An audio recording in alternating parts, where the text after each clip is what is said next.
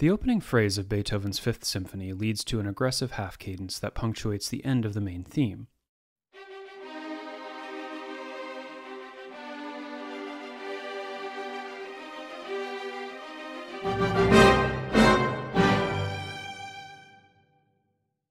This cadence is adorned with a chromatic inflection, F sharp, that leads strongly into the five chord that follows.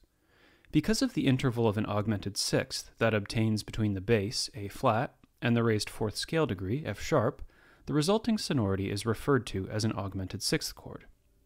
If we recompose Beethoven's theme diatonically, we see that the augmented sixth chord can be understood as a chromatic inflection of a predominant, in this case 4 6.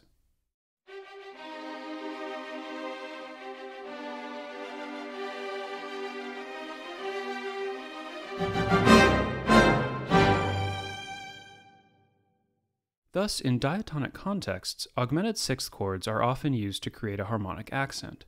It's worth noting that Beethoven has good reason to draw our attention to this cadence. When it returns in the recapitulation, the music takes an unexpected turn with the famous oboe solo. Whereas Beethoven's augmented sixth chord contains just three different notes, composers often add an additional note to create a variant on the same fundamental structure. Generally speaking, augmented sixth chords come in three related varieties each of which contains scale degrees flat 6, sharp 4, and 1. The Italian 6 3 contains exactly these notes with a doubled tonic.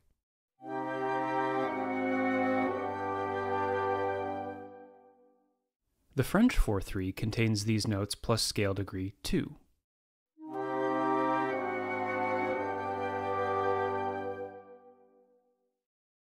And the German 6 5 contains these notes plus scale degree 3.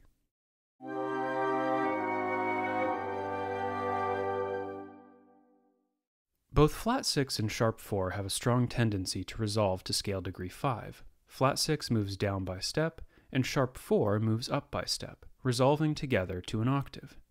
The other scale degrees move parsimoniously to the ensuing five chords remaining notes.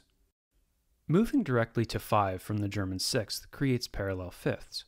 To avoid this voice leading issue, composers often insert an intervening cadential 6 4.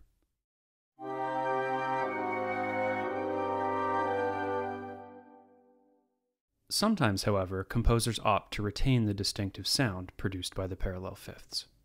When approaching augmented sixth chords, performers should be attentive to their various gravitational forces, which composers can play with to create a spectrum of tension and release. Examine the treatment of dissonance in this example from Beethoven's Piano Trio in C minor. A German sixth enters in measure 7, but doesn't resolve fully until the downbeat of measure 10, whereas measures 7 and 8 contain a composing out of the German sixth chord proper, only flat 6 resolves as expected to G in measure 9. The remaining unresolved voices keep the tension alive and leave room for a brief violin solo that leads to a complete resolution of all remaining voices on the downbeat of measure 10. Note also how the C of the German sixth is transformed from a consonance above A flat in measure 8 into a dissonance above G in measure 9 where it becomes a 4 3 suspension above G.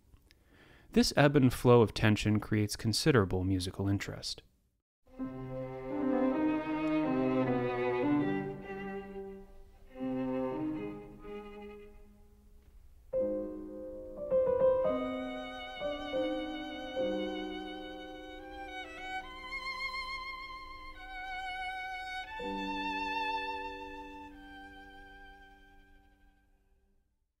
Another common technique treats the German sixth as a harmonic chameleon of sorts, because it sounds like a dominant seventh chord in isolation.